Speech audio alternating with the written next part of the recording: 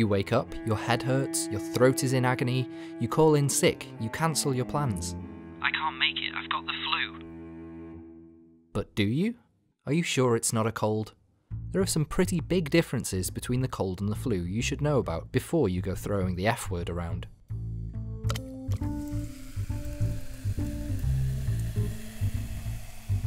First of all, let's tackle the flu, or influenza virus. Although the history of the influenza virus is fuzzy, the first documentation of a flu-like illness may have occurred as far back as 2,400 years ago. Hippocrates, the Greek physician now deemed the father of medicine, wrote the following in his book on epidemics, now translated into English. The greatest and most dangerous disease, and the one that proved fatal to the greatest number, was consumption, having frequent rigours, often continual and acute fevers, unseasonable, copious, and cold sweats throughout, great coldness from which they. These ailments were recurring, appearing at certain times of the year that coincided with a change in seasons. However, it is now believed that his writing was actually describing a collection of conditions including diphtheria, whooping cough, as well as influenza. It's no surprise that without proper medical treatment, a lot of people died. The common cold was reported even further back.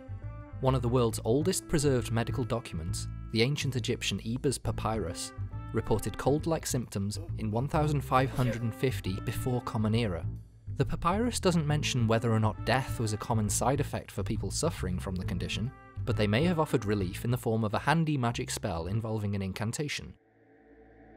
Spit it out, thou slime, son of slime. The foulness rises from out the earth.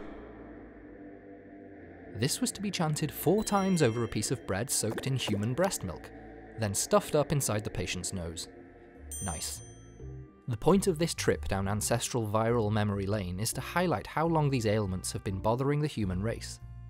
It's likely that they've been around much longer than these documented cases, growing and evolving across the ages. Skip ahead to today, and here we all are, still suffering from both cold and flu on a yearly basis. Almost every single one of us will have experienced the common cold multiple times throughout our lives. Take a look at the cold. Up to 200 different viruses can cause the symptoms. Are you congested? Lethargic? Is your nose running?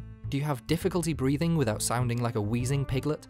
In the lead up, there's frequent sneezing, a persistent cough, and a sore throat that feels like you've swallowed sandpaper.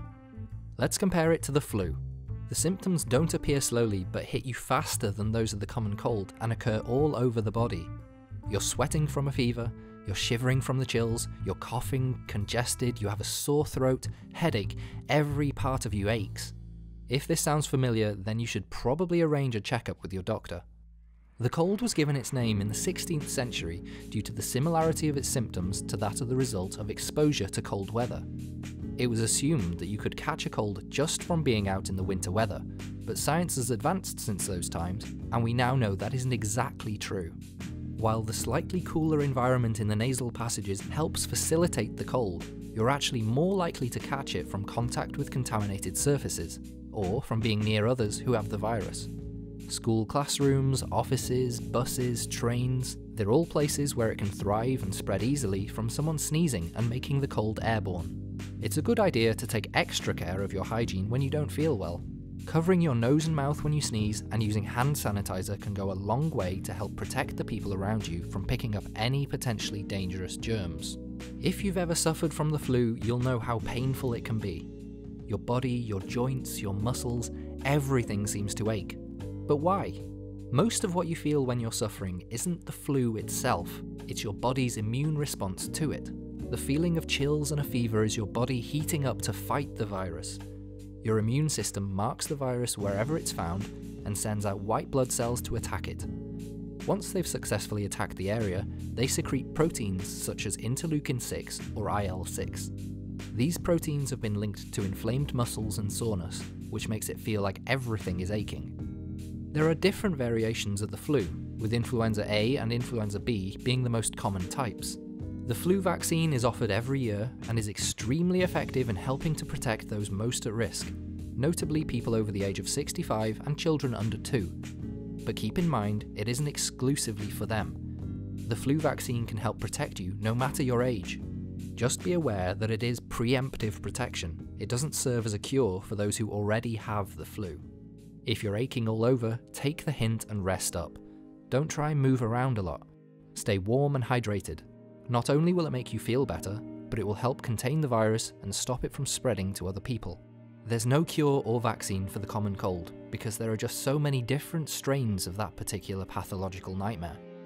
It's a pain and it can last for a couple of weeks or longer. But throat soothing sweets, decongestants, and lots of water is your best route back to health.